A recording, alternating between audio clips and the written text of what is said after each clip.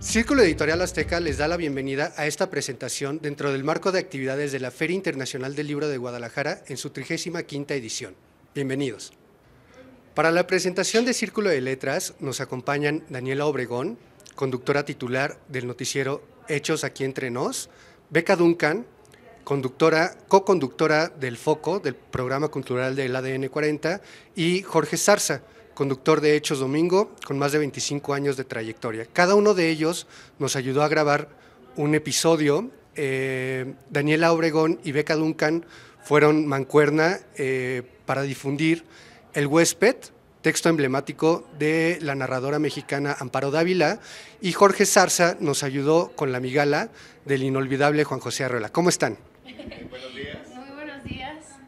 Eh, gracias por la invitación. Eh, feliz de estar aquí compartiendo con ustedes es la importancia de los podcasts y sobre todo nuestra gran experiencia de hacerlo dentro de nuestra casa, que es TV Azteca y sobre todo eh, de Grupo Salinas y del Círculo Editorial Azteca.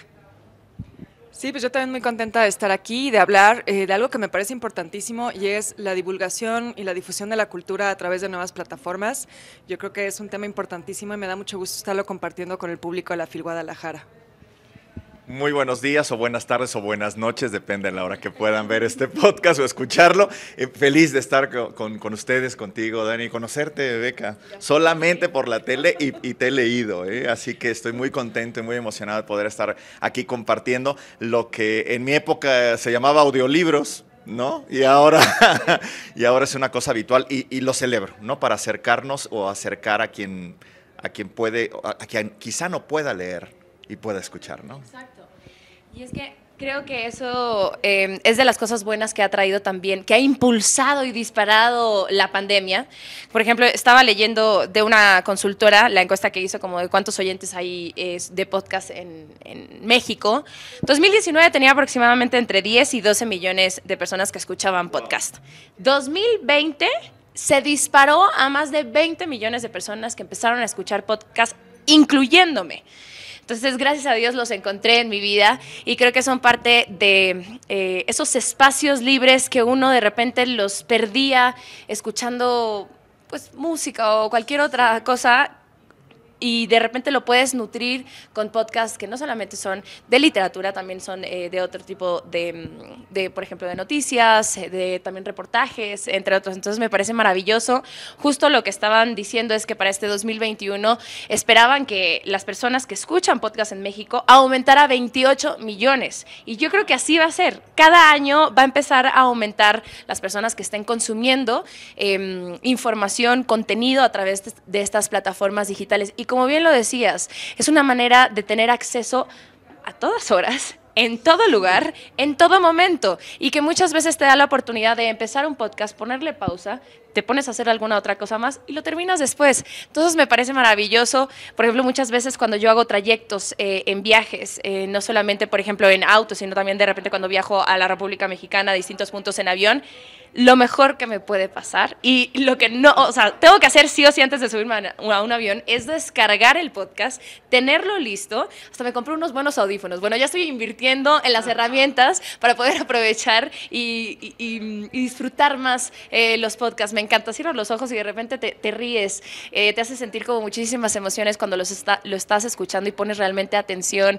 Toda eh, esa como gama que tienes de edición que le puedes poner música que te lleva, son 40 minutos que se te pasan así y que te llevan como por un sub y baja de emociones y que al final de eso llegas como mucho más nutrido de manera como cultural sobre literatura o mucho más de todo tipo de temas, que eso es lo que a mí me parece maravilloso. Bueno, no sé, ¿tú tienes como alguna pregunta específica que hacernos o nos seguimos aquí? Porque ya viste que nos podemos ir como hilo de media, ¿eh? yo les pregunto, eh, yo, mejor ustedes quédense con el micrófono y Ok. Eh, retomando lo que dices, Daniela, ¿cuál fue su percepción cuando, cuando leyeron de manera tradicional el cuento al estarlo grabando y después cuando lo escucharon ya producido como, como si fuera una especie de radionovela? Eh, ¿Tú, Mera? Este, fíjate que justo el, término que usaste es el que yo iba a usar. Ahorita que escuchaba eh, que Jorge decía eh, como audiolibro, más bien la sensación que yo tengo es como de estar regresando a la radionovela. Eh, y eso me parece bien interesante, sobre todo porque la experiencia me resultó, pues como historiadora, también muy curiosa, pensar, estamos en el año en el que se cumplen 100 años de que llegara la radio a México y yo estoy escuchando algo que me hace sentir como que estoy escuchando una radionovela y me pareció también como que muy, muy curioso que 100 años después estemos regresando a, a hábitos y prácticas que pues son centenarias, ¿no? Em, entonces, eh, a mí, me dio mucho esa sensación, me parece que también el, nivel narrativo que se logra de esa manera a través de los ambientes, em, por ejemplo, el, que nos tocó a nosotras, el huésped, creo que hicieron un trabajo maravilloso, pues eh, metiéndole todos estos sonidos y ruidos y efectos que aumentan mucho la experiencia del, del, cuento, porque bueno, yo soy, yo soy una lectora este, empedernida, entonces leo mucho, pero sí te da otro nivel de narrativa, te da otra experiencia escucharlo en un podcast y sobre todo los podcasts de Círculo Editorial Azteca que siento que precisamente evocan mucho la experiencia de la radionovela. Coincido. Fíjese que, eh, bueno, Beca no me dejará mentir, pero hasta 1985 la radio era muy musical. Es en el 85 cuando por el sismo eh, se suben los, algunos periodistas, ni siquiera en helicópteros, en avionetas a recorrer la ciudad y empiezan a narrar. Entonces ahí surgen los noticieros eh, radiofónicos, la radio hablada que le decían, ¿no? Entonces oías a gente que hablaba y hablaba, y hay estaciones que tú le prendes y nada más hablan, ¿no? Y, otras que eran, pero era, eso fue un quiebre en la radio, así como, ¿cómo? Si la radio es para la música, ¿no? O para las radionovelas, ¿no? Eh, eh, eh, fuera de ese paréntesis, a mí me dio mucho gusto no solamente poder escuchar y grabar el, podcast, sino estar con el nieto de Juan José Arriola, que además es un músico, entonces él con su bajo empezó, bueno, yo sentía que se me subía la migala, ¿no? y, lo hizo de una manera de verdad muy, muy sensorial. Sea, es, que tú tienes que cerrar los ojos para, adentrarte en el libro o para adentrarte en la historia cuando estás en el podcast, ¿no? Eh, yo, yo coincido, creo que nos hace falta cuando la gente dice, es que las redes sociales aceleran, es verdad, es que las redes sociales no tienen reglas, no tienen límite de velocidad, no tienen eh, eh, visa o pasaporte, cualquiera puede entrar, grande o chico, este, pobre o rico, desarrollado. El podcast aún en esta democracia digital, sí te lleva a un tema de reflexión, te asienta, te atempera y te, te transporta a tu velocidad, ¿no? Y es que creo que es muy importante destacar lo que hemos comentado cada uno de nosotros sobre la importancia de la experiencia. Cómo ahorita estas nuevas generaciones o todos nosotros estamos buscando la experiencia, algo que te nutra al 100%, ¿no? Buscar esos momentitos en el que te, te sientas, como bien decía, cierres los ojos y te transportes a otro mundo. Y creo que fue increíble poder grabarlo. Yo lo sentía así, o sea, cuando lo escuché ya listo, wow, superó totalmente mis expectativas por toda esta edición que tenía detrás, ¿no? La música que te llevaba paso a paso por esa, eh, ese cuento de Ámaro Dávila que era increíble y a mí se me pasó así, volando la narración con comentarios, haciendo esas pausas. Creo que em, como que comprendes de mejor manera eh, em, es como más completa la experiencia al final, eh, no solamente de leerte un libro, sino de entender lo que hay detrás de esas letras. La historia de Amparo, por qué, en este caso lo que grabamos Beca y yo, por qué se, se fue por ese lado. Entonces vas acompañando su obra y vas entendiéndola mucho mejor. Entonces al final terminas eh, el, el, cuento, que me parece a mí increíble, el, el, que nos tocó a nosotras dos, lo terminas y dices, o sea, ya, ya conozco a Amparo Dávila, es como si la conociera, entonces eh, es como te sientes mucho mejor, mucho más completa, eh, más llena cuando terminas un cuento de esa manera, ¿no? Cuando te lo platican, te cuentan cosas biográficas de la misma autora y, al mismo tiempo vas recorriendo párrafo por párrafo em, el, el cuento. A mí me parece la verdad increíble el tema de los podcasts, la reflexión, es increíble después de, que escuchas uno, siempre terminas dando vueltas, dando vueltas, dando vueltas, cosa que también pasa con los libros, pero la experiencia aquí es completa y eso no te lo entrega muchas veces un libro. En, este caso vale la, pena, vale la pena resaltar que el podcast se nutre no nada más de esta lectura dramatizada, sino de la charla que hay con un experto que justamente nos da un contexto social, histórico, literario. Eh, Jorge Zarza, ¿cómo fue tu, ¿cuál fue tu descubrimiento con, eh, respecto a este acercamiento que tuviste con Juan José Arreola, el, autor, y con Juan José Arreola, el humano? Primero me, llamó mucho la atención que estaba yo con un pedazo de historia y, un pedazo de Juan José Arreola, ¿no? Porque vos lo tienes ahí cerquita y además este, él es un gran conversador. Eh, primero estaba nervioso, ¿eh? Porque eh, eh, él sabe... Sí, porque no es un tema que yo domine, ¿no? Y cuando no dominas el tema, pues sientes ciertas inseguridades, ¿no?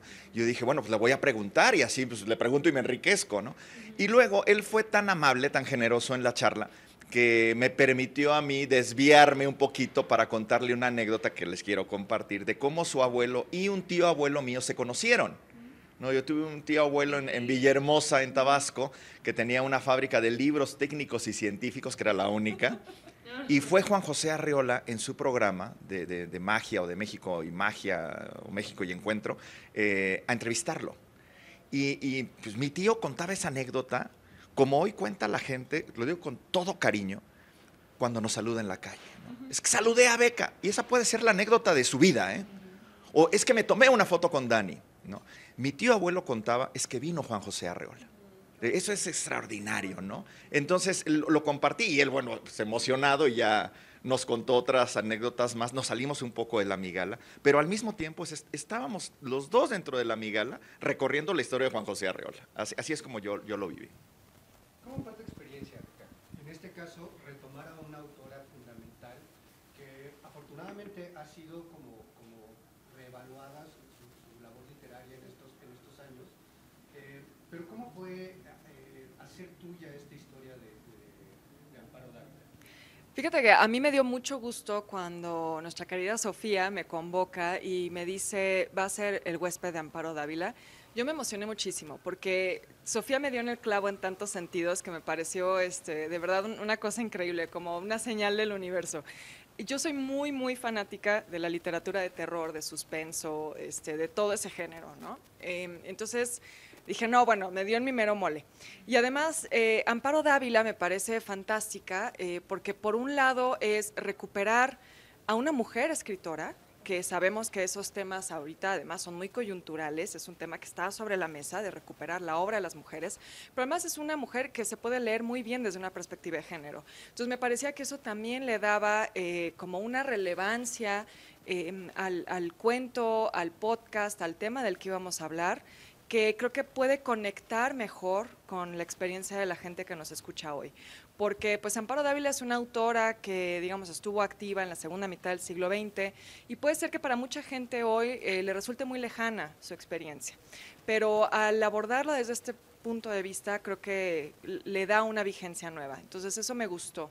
Y también me gustó además que escogieran terror, no solo porque a mí me gusta el terror, sino porque también es un género que ha sido muy menospreciado, sobre todo por el canon académico literario. ¿no? El terror es visto siempre como un subgénero, de hecho así se le llama, un, género menor frente a todos los demás. Entonces me parecía que era como un acto de justicia y de reivindicación en muchos niveles. ¿no? Una mujer escritora, una mujer escritora que fue eh, también muy olvidada, este, a quien no se le había hecho justicia, es algo que, como bien dices, apenas comienza, y además un género al que tampoco se le ha hecho justicia. Y, yo solo retomaría un punto de lo que decía Jorge, que, dice, yo me sentía nervioso porque no sabía. Yo creo que esa es una de las grandes, grandes fortunas que tiene el arte en un sentido amplio, la, creatividad, pues, la literatura, las artes plásticas, el cine, etcétera, es que puedes no saber y aún así sentir algo. Cuando lo lees, cuando ves una pintura que te gusta, conectas, hay una empatía, hay una parte sensible que no importa que no sepas nada de ese autor, no importa que no sepas nada de ese tema, te hace sentir algo. Y creo que eso es también eh, una de las cosas que a través del podcast se logra, acercar a la gente a todo esto, em, que la cultura, perdón, la cultura, la lectura, el arte, dependiendo del tema, en este caso eh, particular la lectura, Em, creo que a través de lo sensible, es lo que estábamos platicando, ¿no? Cierras los ojos, escuchas, sientes, y ese puede ser una muy buena manera de acercar a gente que, como Jorge, se puede sentir nerviosa, decir, híjole, es que yo no sé, o ni siquiera sé por qué autor empezar, este, no tengo idea cuál es su historia, quién era, eh, y, pegarle desde este lado sensible, creo que es un gran acierto, porque al final todos sentimos algo cuando leemos un buen cuento o un buen libro, ¿no?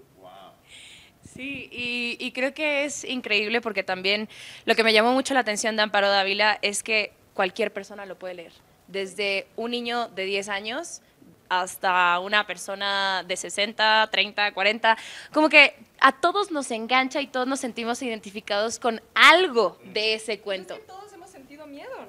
Sí, sí, sí, claro, es verdad. A mí la verdad es que yo no había eh, leído pues casi nada de Amparo Dávila, la verdad es que no la había estudiado. Para mí era una autora que pues sí, la verdad es que olvidada y también pues, muy poco estudiada. A mí me encanta las obras eh, de suspenso. Había leído muchísimo a Agatha Christie porque estudié en un colegio francés excelente. es buenísimo, a mí, me encantaba, pero justo cuando me invitaron a grabar el podcast fue como, Amparo Dávila. Amparo, ah, sí, Amparo Dávila. Mm, ah, Amparo Dávila. Yo decía, ¿qué, onda, Dani? ¿Cómo estás leyendo Agatha Christie? Excelente Agatha Christie, pero ¿cómo no habías leído a alguien de Latinoamérica, mexicana, en, este subgénero de terror que me parece increíble y muchas veces sí te da miedo, ¿no? yo, soy malísima para las películas, por ejemplo, de terror, de suspenso y eso, yo no puedo pero para los libros me fascinan. Entonces digo, ¿cómo había dejado eso de lado y no me había metido en este mundo, sobre todo en esta gran autora, Amparo Dávila, que, que para mí también, como bien decías, como que marca pues un antes y un después en, en la literatura mexicana, porque es una mujer y porque pues sí, fue como en los cincuenta y tantos donde se hizo como más presente y, tiene una historia increíble y creo que a través de conocerla a ella como autora, conocer sus obras, te da como una idea de lo que estaba pasando en ese minuto en nuestro país, ¿no? Aparte de dónde era ella, o sea, todo... Vivió cosas que, sí puedes conocer la historia de México un pedacito, ¿no? A través de, cómo ella vivió su vida. Y, y, lo más interesante también es que aunque hayan pasado 50, 60 años más, o sea, el día de hoy sigue haciendo sentido. Exactamente. Entonces, eh, la verdad es que me parece increíble que hayan eh, como tomado a esa autora.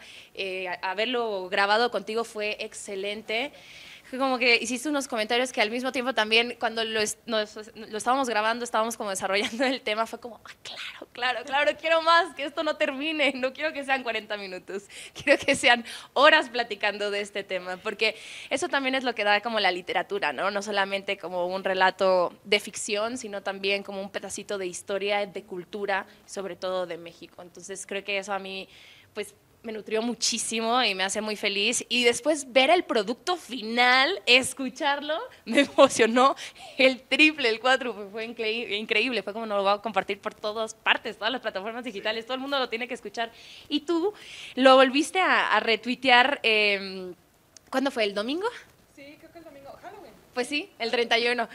Y fue como, claro, fue perfecto, venga, vamos. me acordé, decía, es una lectura perfecta para ¿no? A mí me pareció increíble y de hecho lo volví a poner en las bocinas de, de mi casa. Bueno, en este caso vale la pena recordar que aunque parezca algo nuevo, en realidad el arte de contar historias es, es una cualidad humana milenaria, ¿no? O sea, antes cuando no había nada, ¿no? Lo que nos hizo sociedad fue como juntarnos, ¿no? Igualmente y platicar lo que, lo que, nos había pasado, ¿no? En este sentido, eh, que estamos utilizando las nuevas plataformas para, hacer, para difundir este, este quehacer, ¿cuál creen que sea la proyección? Uy. Qué difícil.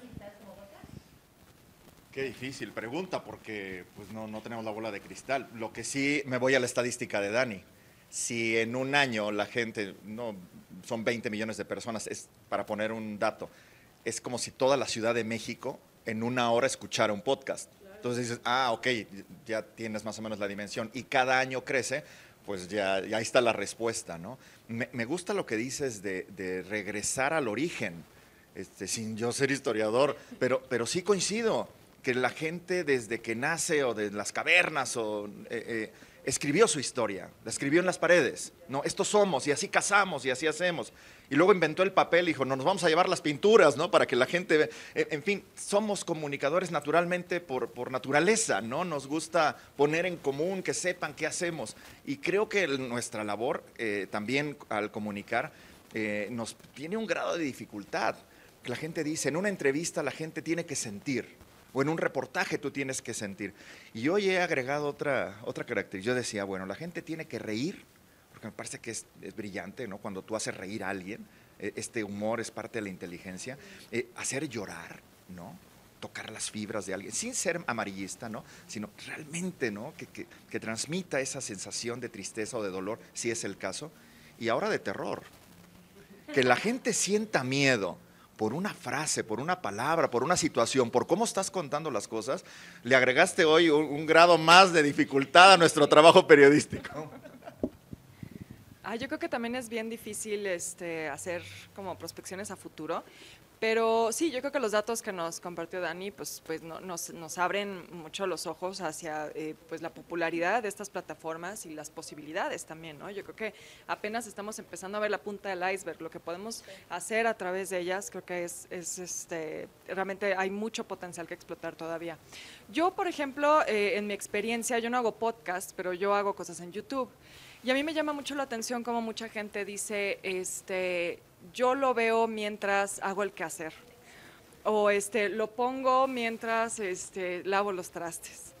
eh, mientras voy en el tráfico. O sea, no se sientan a ver como ven la tele, ¿no? Lo cual me parece muy interesante. Pues sabe que YouTube es video. ¿no? Cu- Cuando hago entrevistas en YouTube me dicen, me encanta porque mientras estoy acá, acá barriendo y trapeando, estoy escuchando algo bien interesante en la entrevista. Y creo que eso es algo que también tú mencionaste, ¿no? El tiempo. A veces es difícil, siento, con todo el trabajo que tenemos, todas las actividades, sentarnos a leer un libro. A veces, no, por más que quieras, no encuentras el tiempo, ¿no? Y entonces creo que esa es una de las grandes bondades del podcast y el audiolibro también, que por cierto ha crecido. No hemos hablado del tema del audiolibro, pero los números de audiolibro también han crecido mucho.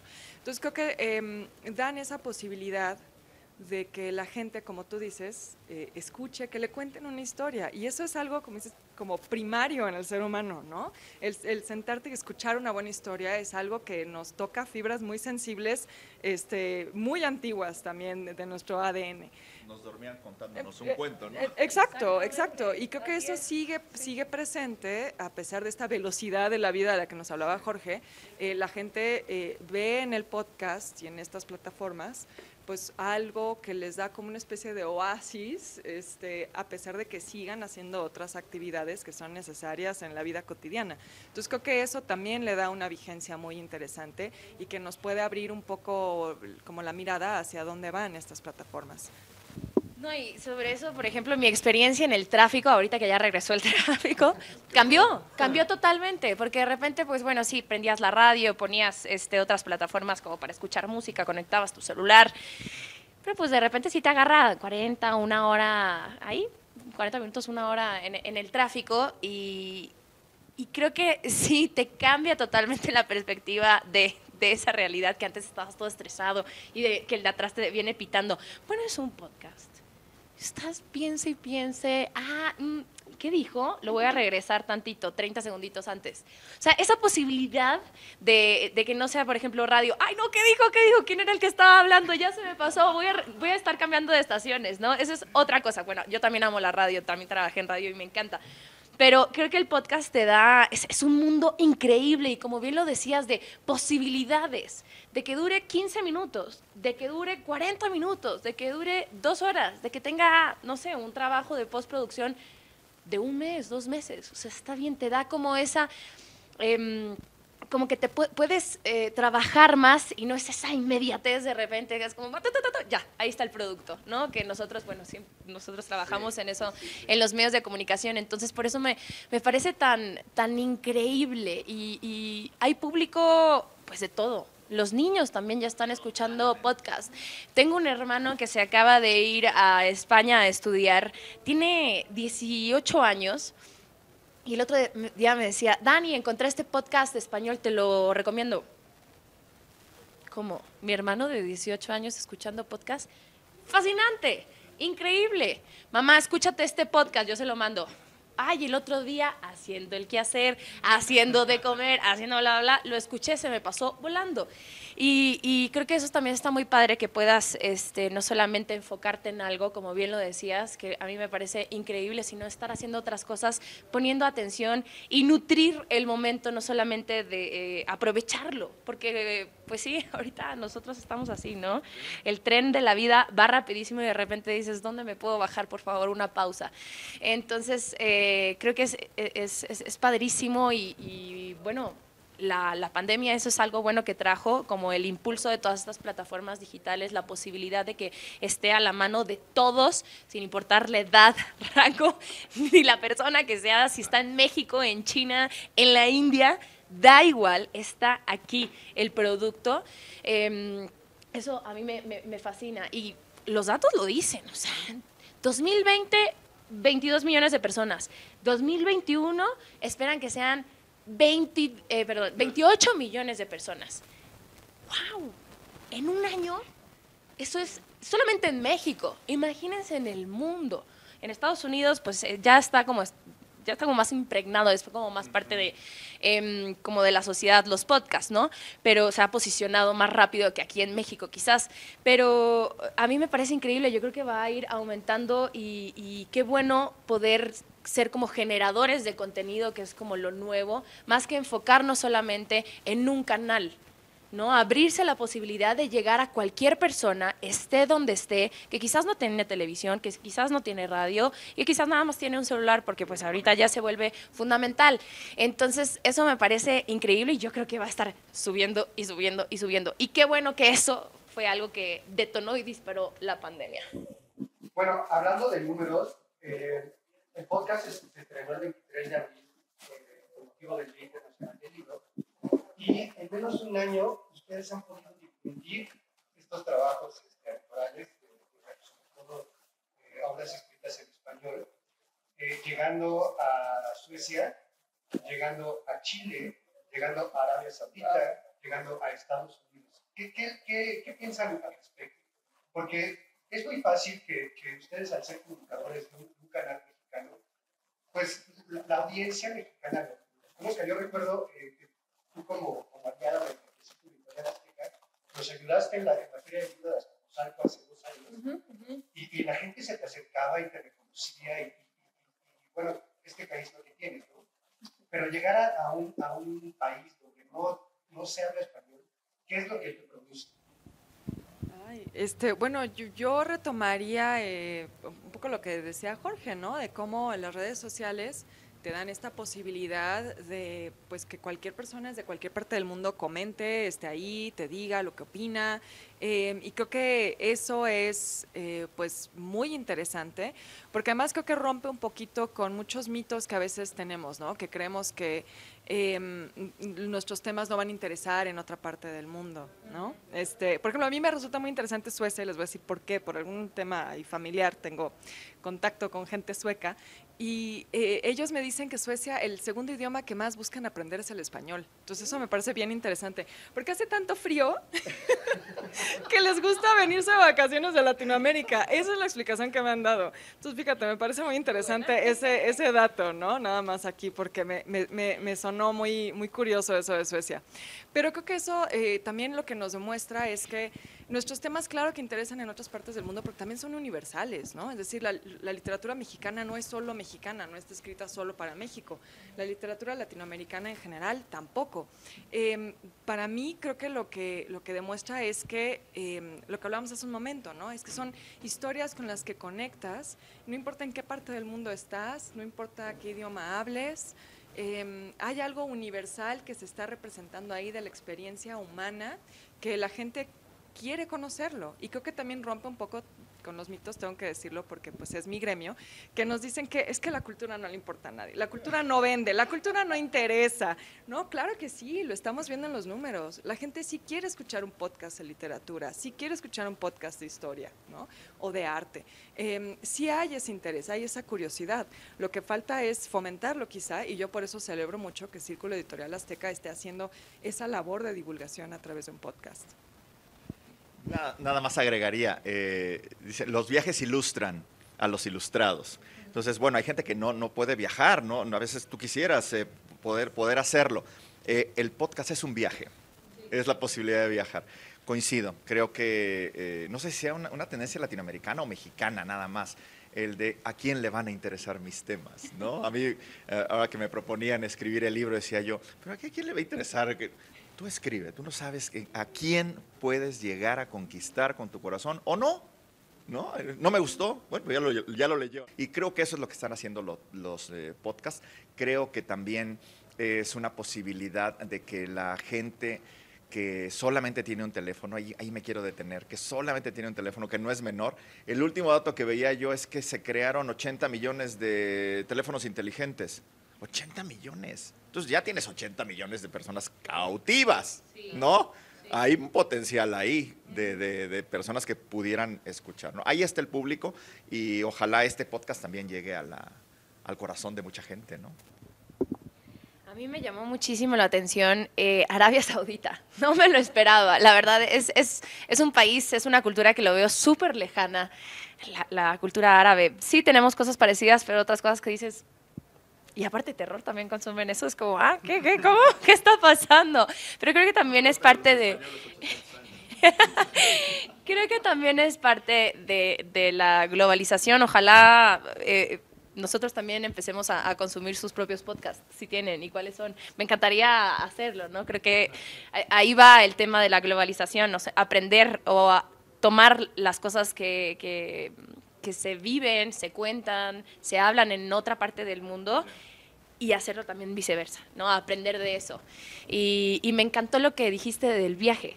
Claro que es un viaje, es una experiencia, es un viaje y, lo puedes hacer eh, tú sola, en el coche, con una amiga, en familia. Claro. Eh, puede darte de qué hablar en una cena. Oigan, no sé, ¿alguna vez escucharon de Amparo Dávila? Ay, sí, me acuerdo, pero ¿qué pasó de ella? No, pues sí, ya, ya pasó a otra, a otra dimensión, pero eh, los cuentos son bla, bla, bla. Entonces, como que crea un ambiente increíble en el que puedes compartir con de todas las edades. Y eso también me encanta. Y lo del viaje, uff, destacadísimo en esta plática, me encantó. Y ya me, me, quiero meter a googlear a ver qué podcast están armando en Arabia Saudita, por favor. Déjame, déjame agregar una, cosa más, a, lo mejor cierro, este tema, pero eh, en, la, en la televisión cuando hacemos el trabajo de reportajes o de notas o de crónicas, hay una máxima. Dice, no hay notas largas o cortas, hay notas buenas o malas. Y eso es muy cierto. ¿Cuánto dura el podcast? Que sea bueno, lo que dure. Poco o mucho. Bueno, eh, igual, nada más como para, apuntar, eh, cabe decir que el español es el segundo idioma más, más hablado en, nivel de, hablantes, número de hablantes, pero territorialmente es el más hablado del mundo y es el que más se estudia en, países donde tienen que, que diversificar sus, este, no, nada, no nada más para literarios, sino para negocios. ¿no? Eh, en Los Ángeles es el idioma más hablado. Estamos hablando de una, una ciudad este, eh, que es el, idioma más hablado. Eh, cabe decir que Círculo de Letras, la principal labor que tuvo en esta primera temporada es difundir literatura latinoamericana, sobre todo para justamente rendir un homenaje a, este, a esta lengua que de repente es cambiante, sí, pero que también tiene una tradición con, escritores que, que, han, que, han, formado, eh, pues, con sus, letras, ¿no? Una lengua que tiene, pues, eh, simplemente eh, una complejidad intrínseca, ¿no? no sé si quieran comentar algo para cerrar esta presentación. Bueno, a, mí sí, creo que también otro de los puntos que no hemos tocado es eh, un poco retomando esta idea de quienes se sienten ajenos a la literatura o sienten que no saben por dónde entrarle. Creo que también los, los podcasts y sobre todo este podcast de Círculo de Letras puede ser un, muy buen punto de partida, porque creo que eh, combina muy bien esta experiencia que hablábamos hace un momento como de radionovela, con la opinión de expertos, que también ya nos estaba compartiendo tu experiencia con el nieto de, Arreola. Em, y creo que e, eso es muy interesante porque yo sí me he encontrado con gente que dice, oye, pues como que a mí sí me gustaría leer más, pero luego no sé por dónde empezar, no sé qué autor, qué autor me recomiendas, o oye, es que fíjate que me dijeron que tal escritor es buenísimo, pero a mí no me gustó, y entonces ya me sentí mal y siento que no sé nada, ¿no? y entonces es como de, sí, sí, exacto. O sea, ya hay mucha gente que, les digo, a mí me ha tocado que se, se nos acercan mucho, un poco como decías, en la calle, y dicen, oye, es que mire, yo veo que ustedes deben leer un montón, pero pues la verdad es que yo no tuve el hábito de lectura en la escuela, tampoco mis papás, pero me llama la atención. Entonces creo que también el podcast puede abrirse eh, un poco o ayudar a la gente a abrirse a, temas literarios porque lo hace más accesible en cuanto al tipo de lenguaje, a la experiencia que puedes tener. Y también hay mucha gente que dice, es que sabes que precisamente con lo del hábito de lectura, este, soy malo leyendo, como que no me concentro, ¿no?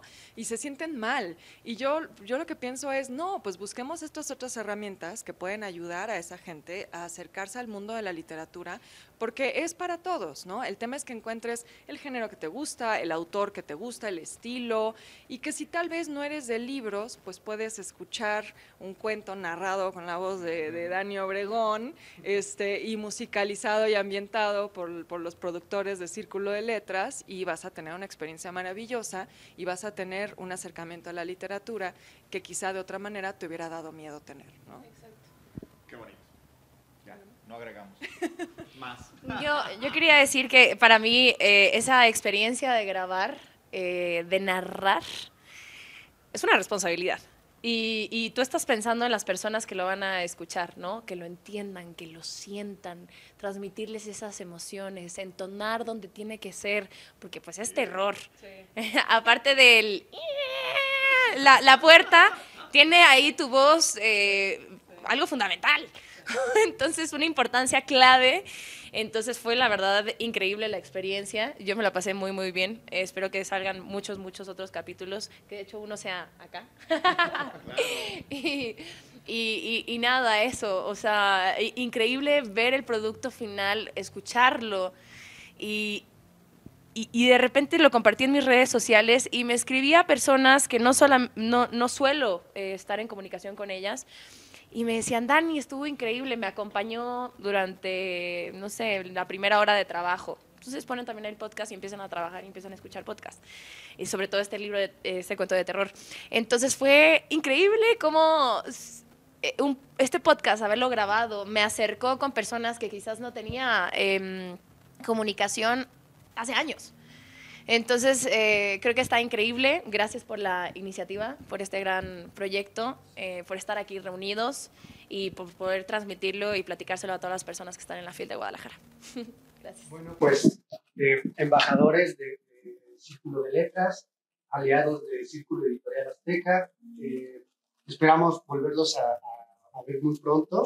Con mucho gusto. Los invitamos, como dice Dani, a seguir el Círculo de Letras en todas las plataformas de, música en streaming. Eh, tenemos cuentos de cubanos, tenemos cuentos de brasileños, tenemos cuentos de chilenos, obviamente de mexicanos, ¿no? de argentinos, uruguayos.